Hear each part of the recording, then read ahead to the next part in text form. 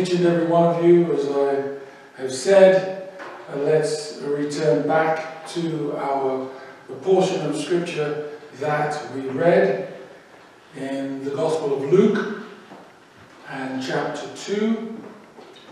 And uh, in essence, we are really focusing on verse 49.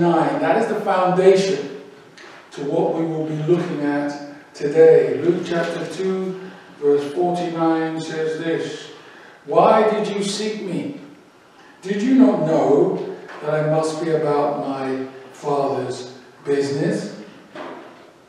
And as we begin this, uh, this uh, Christmas season, there'll be a series of four sermons this day and next week, God willing, and uh, the two that follow. Christmas Day and the last Sunday of the year by God's grace. And we'll be looking at Christmas this time with a slight difference. Christmas in the words of Jesus.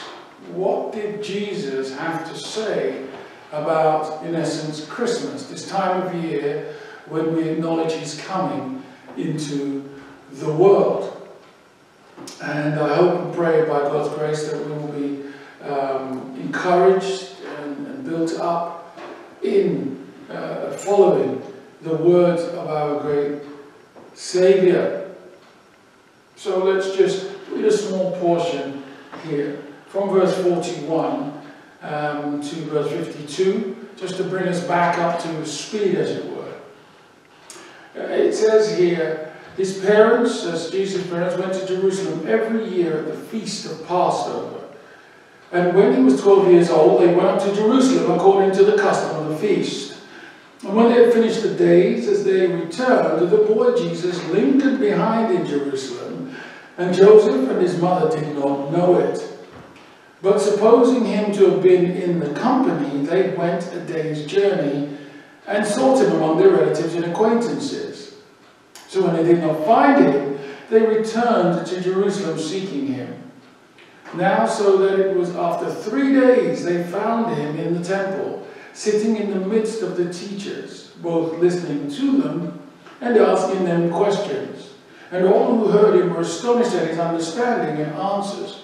So when they saw him, they were amazed, and his mother said to him, Son, why have you done this to us?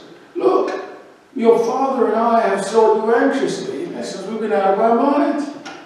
And he says to them, Why did you seek me? Did you not know that I must be about my Father's business? But they did not understand the statement which he spoke to them. Well, many, many years ago, I remember some friends of mine attending a birthday party of someone they did not know. I, I couldn't get my head around that. Um, why would you go to the birthday party of someone who you have no relationship with? Later on, when I saw them, they told me what a great time they had and so on. Now, I didn't go with them, obviously, because it didn't seem right. To me, they were enjoying the benefits without actually having a relationship with the person celebrating their birthday. And then I thought, when we consider uh, what happens, when we consider um, this world, I thought to this, to a degree, isn't this what the people of the world do? Don't the people of the world enjoy the benefits of this world, the benefits of this creation without knowing the Lord? Uh, they enjoy this world and the benefits of it without having a relationship with the Creator. Well, in, in John 1, it clearly tells us that in the beginning was the Word. And the Word was with God, and the Word was God. He was in the beginning with God. All things were made through him, and without him nothing was made that was made. In him was life, and the life was the light of men. Christmas is truly one of those times which highlights even more for me the disconnect, as it were, between sinners and our, holy God. My friends, I tell you this morning, what God desires above all is for us to know Him through His Son, the Lord Jesus Christ. What God desires is salvation for mankind, that all should be saved. John 3.16, For God so loved the world that he gave his only begotten Son, that whosoever believes in him should not perish but have everlasting life. And what Scriptures is telling us is there is no one more important in the whole working out of this salvation than the Lord Jesus Christ. And now, this particular time of the year, at Christmas time, when virtually the whole world acknowledges his birth, we are to think on these things. We are to think on the angels appearing. We are to think on the shepherds watching their flocks at night. We are to think on the wise men following the star and Joseph and Mary finding no room at the inn. We think on those things, but we're to reflect, my friends, on what Christmas means from the very one whom Christmas is about, the Lord Jesus Christ. What is it that Jesus says about the true meaning of Christmas? Now, if you know your Bibles, you will know that uh, uh, Luke and Matthew are the only two of the Gospels that contain, contain the birth narratives. Mark and John start their uh, uh words, John obviously declaring the glory of the Lord Jesus Christ and who he is, but they start it from Christ's adult ministry. And what we can do, you see, we, we, we either get caught up with the, the first part, with the baby and the shepherds and the angels and Mary and Joseph uh, and the stars and the wise men and Herod and so on. Uh, and then we tend to jump to what John and, and Mark say in terms of his adult ministry and him coming before John the Baptist and so on. And we can often forget about what Luke describes there in chapter 2 that we read. That the Lord Jesus, at the age of 12 years old, was in the temple. Verse 46. Now, now so it was that after three days they found him in the temple, sitting in the midst of teachers, both listening to them and asking them questions. And all who heard him were astonished at his answers. And, and it was at the tender age of 12 that Jesus actually puts down his marker concerning Christmas as we know it. Jesus, at the tender age of 12, puts down the foundation of what Christmas means. 18 years, my friends, before he began his adult ministry, but sometimes this is overlooked. And Jesus here, you see, at a 12-year-old, states the foundational fact about his coming. He states what his coming into the world was all about. Look with me at verses 48 and 49. So when they saw him, they were amazed. And his mother said to him, Son, why have you done this to us? Look, your father and I have sought you anxiously. And he said to them, why did you seek me? Did you not know that I must be about my Father's business? Did you not know that I must be about my Father's business? So, so for today, I want us to see Jesus says Christmas means that he must be about his Father's business. Now it took Mary and Joseph, says verse 46, three days to find Jesus in the temple. They had traveled a day and couldn't find him. So they had to travel back another day. And then they spent another day looking around until they found him in the temple. And when they saw him, they were amazed and said, Why did you do this to us? Now, of course, Jesus' answer to them, I must be about doing my Father's business, uh, they didn't get it. They didn't understand what Jesus was saying. They didn't understand what Jesus was portraying. They didn't understand. And we're told that Mary pondered these things in her heart. And it reminds me when, when the angel came to her and told her that she would be having a son, uh, and the Most High would come upon her, and she would conceive and bear a son. The Spirit of the Most High would come upon her, she would bear a son, and they should call his name uh, Jesus, Emmanuel. He shall save people from their sins. She pondered these things in her heart. Later, she would come to understand in Jesus' adult ministry what these words meant. She would hear Jesus speak. She would see Jesus do miracles. She would see her son on the cross uh, and hear him speak to her and the disciple that was with her. Here is your mother. Here is your son. She would understand when she saw the empty tomb and saw him there. But for now, she kept these things in her. And then we are told uh, the obedient Jesus went home with his parents. Verse 30, 51. He went down with them and came to Nazareth and was subject to them. So he was saying Jesus was the perfect child.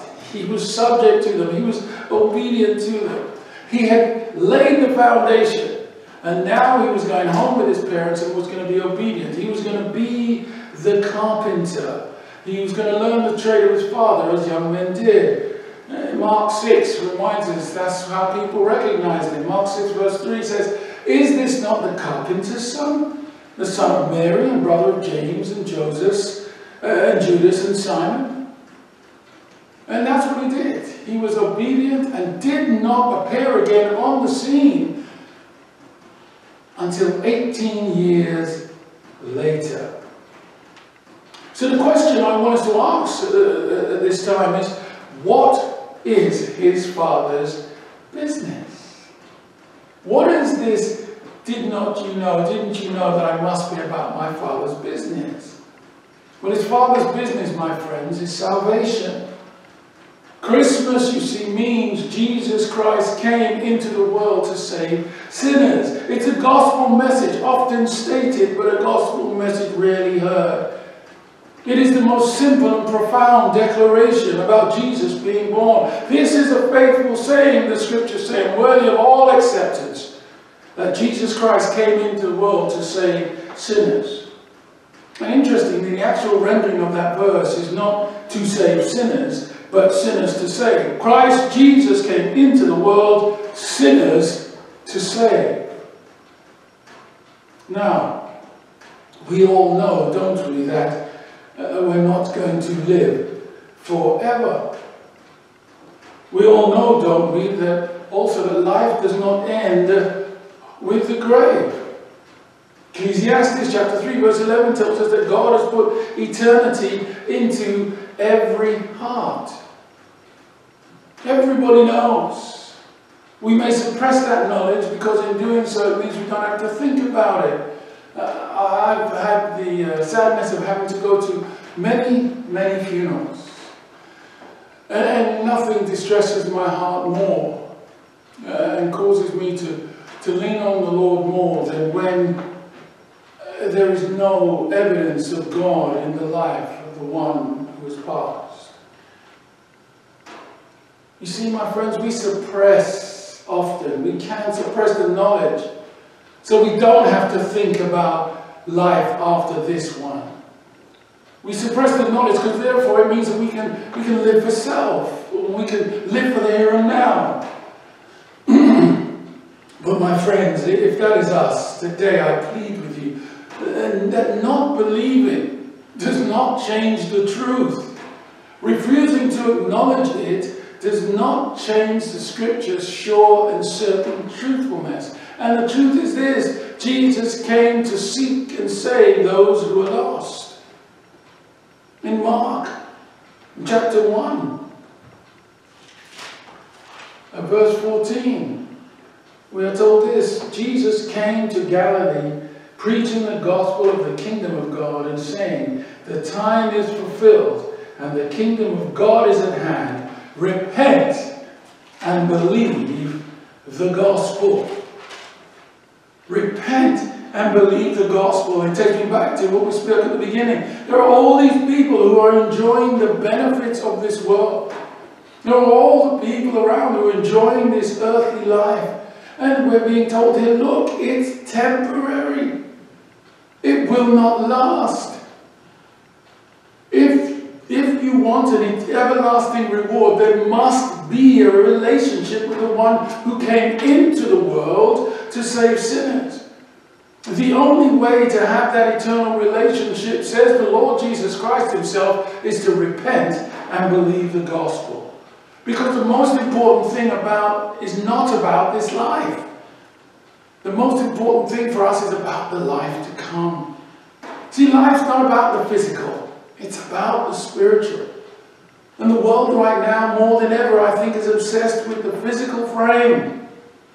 It's obsessed with the things we can get. It's obsessed with the money we can amass. It's obsessed with the power we can have and so on. There are so many falsehoods, my friends, in the world trying to keep men and women from knowing the truth that Jesus brings. I know and have met those who are angry with the God they don't even acknowledge because of the death of a loved one or because of the desperate sickness of a loved one.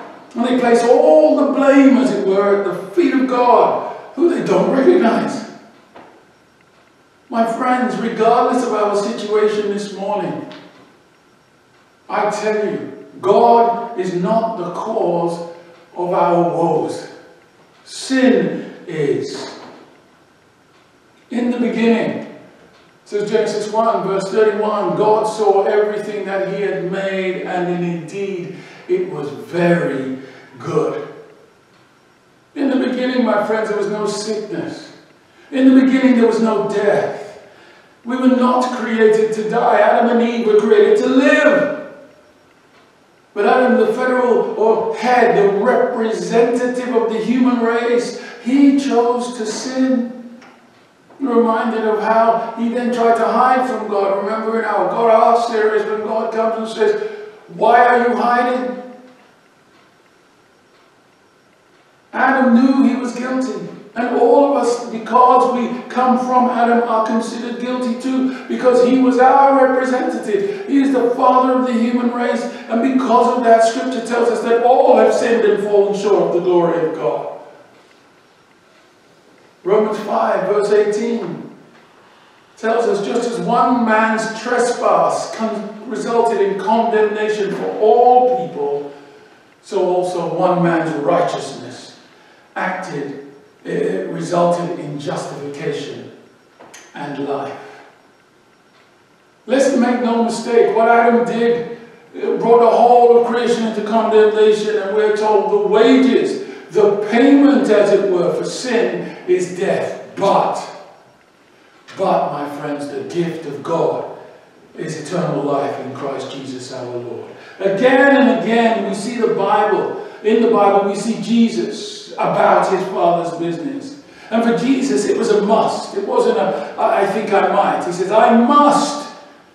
It was a must in, the need of going to see the woman at the well. It was a must in terms of Nicodemus. It was a must in, in terms of Zacchaeus. It was a must, my friends. Every time he encountered, it was a must. And again, he must be about his father's business. Uh, one of the great examples of, of, of how God, uh, Christ did all these works, because what we have to remember is even through all the sickness and, and death, not everybody that was healed came to know him. They enjoyed the benefits of him, as it were, in this life, but did not know him to take them into the life that is to come. How many of the multitudes that he healed healed as they came across him. He must need that man who, in the Gadarenes who was possessed of demons. He must meet. Such was Jesus.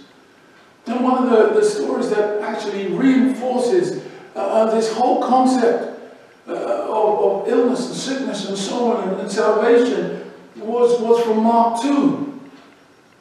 If you remember the story of the paralyzed man being lowered through the roof in Mark 2. And they couldn't, they were trying to get around to try and get into where uh, uh, Jesus was, was, um, was speaking. And, and there they, they, they, they couldn't get in, so they went up onto the roof, we're told. There in Mark and in chapter 2, they had to go up onto the roof and lower themselves, lower their friend, as it were, down into Jesus' presence. There was no longer room, says Mark 2, to receive them, not even near the door. And so the man bringing the paralytic, they, when they had broken through the roof, they let down the bed on which the paralytic was lying. And when Jesus, we read, saw their faith, he said to the paralytic, Son, your sins are forgiven you. And then we see the scribes there muttering and murmuring, reasoning in their hearts, why does this man speak blasphemies like this? Who can forgive sins but God alone? And immediately, Jesus knew what they was thinking. And he says, why do you reason in your hearts about these things? He says, which is easier to say to the paralytic, your sins are forgiven you, or to say, arise, take up your bed and walk? Which is? Because Jesus has said, your sins are forgiven you. And we think about much in terms of uh, falsehood of today. And we see the, the, the precious nature of the Lord Jesus Christ. Because if you would ask this paralytic man, what's your greatest need? He would have said, my greatest need is, is to not be paralyzed. Just like we saw, uh, the, you know, God asks the man at the pool of Bethesda. He says, do you want to be made well? He's been laying there for over 30 years trying to get into the water. Just like the, the madman in, in the tombs who was possessed with demons. You asked them, what is it you need more than anything else? They would have said their physical well-being. But Jesus says, no. That's not your most significant need. It's not to say that Jesus is not interested in all of our conditions. Jesus is, of course, interested in all of our conditions. He's interested in all of our concerns. But what Jesus says here to his parents, here in Luke, he's saying he didn't come for that. He came to grant forgiveness. Healing was not, healing of the body was not his primary concern. It was healing of the spirit. This, my friends, is the amazing love of God that we're to see at Christmas in the coming of our Lord Jesus Christ. Jesus came from the heaven of heavens to save one such as this paralyzed man, to save you, to save me from our sin. Your sins are forgiven you, he said to this man. And what we see is the whole of humanity. You see, he stood with, with Adam on that day. The whole of humanity came from Adam. So when he fell, so did all of we who stood with him because we were in him. All of Adam's race, me and you, all who came before us, all who will follow us. We may want to reject this truth, my friends. We may want to deny it because it offends us and say, it's not fair. I didn't do it, he did. But that does not stop the truth from being the truth. Like David, when he acknowledges this truth in, in, in Psalm 51, when he says, Have mercy upon me, O God, according to your loving kindness. According to the multitude of your tender mercies, blot out my transgressions. Wash me thoroughly from my iniquity and cleanse me from my sin. For I acknowledge my transgressions, and my sin is always before me. Against you, and you only have I sinned and done this evil in your sight, that you may be found just when you speak, and blameless when you judge. And then he goes on to say, Behold, you desire truth in the inward parts, and in the hidden parts you will make me to know wisdom. What is this wisdom, my friends? It is the, the is what Christmas is all about. It's about knowing Jesus. That's wisdom. It's about not trying to live this life morally.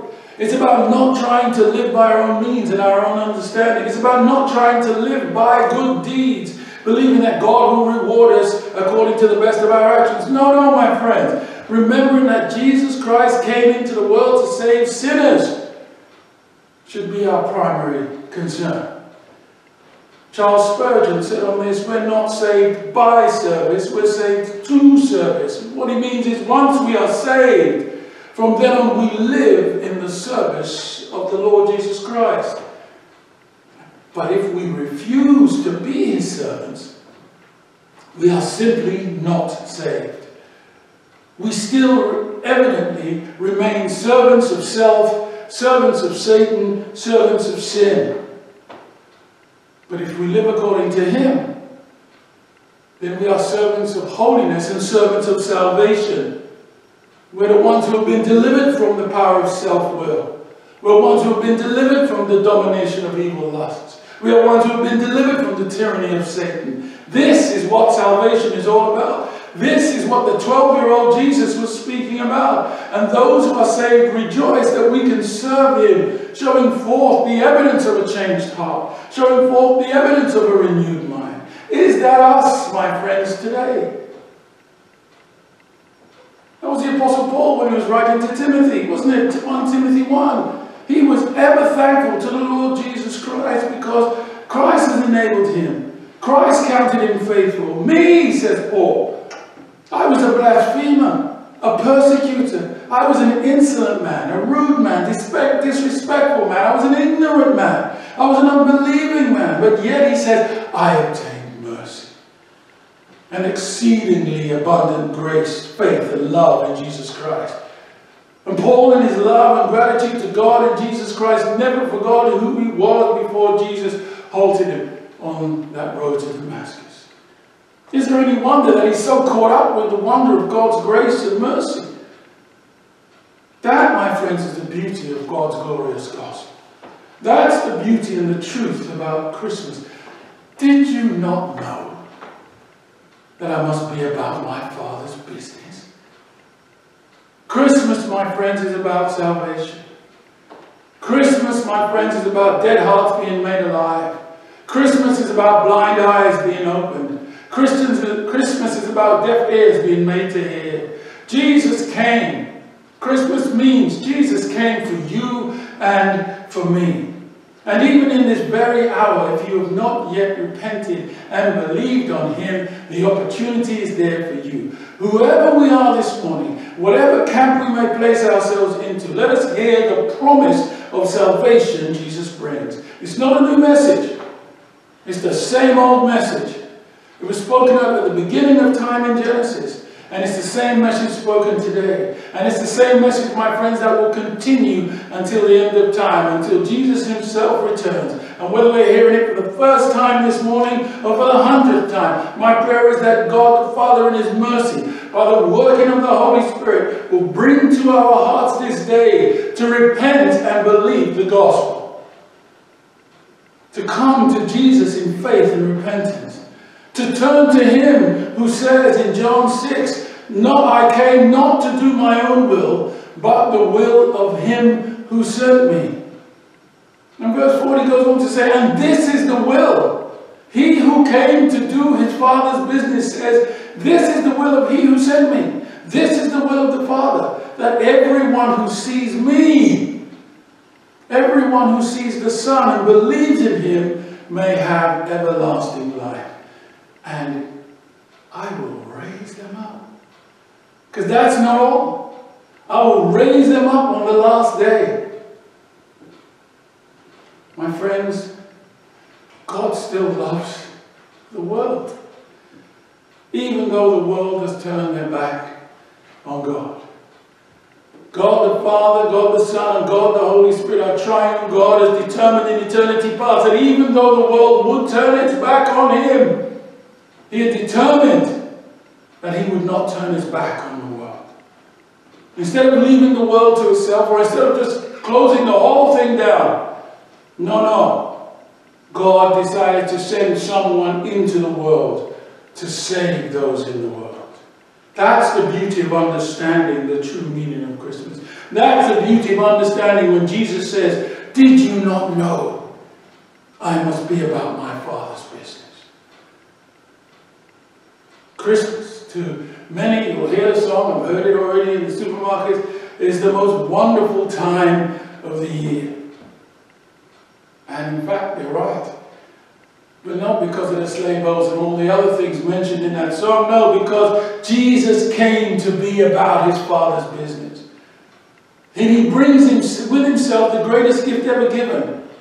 And I say to you, as I say to my own heart, knowing this, my friends, what do we say this morning to our greatest need? Jesus stands, arms open, salvation's gift held out. And will we accept it? There's no guarantee of tomorrow. We don't know what a new day may bring forth. And now's the acceptable time.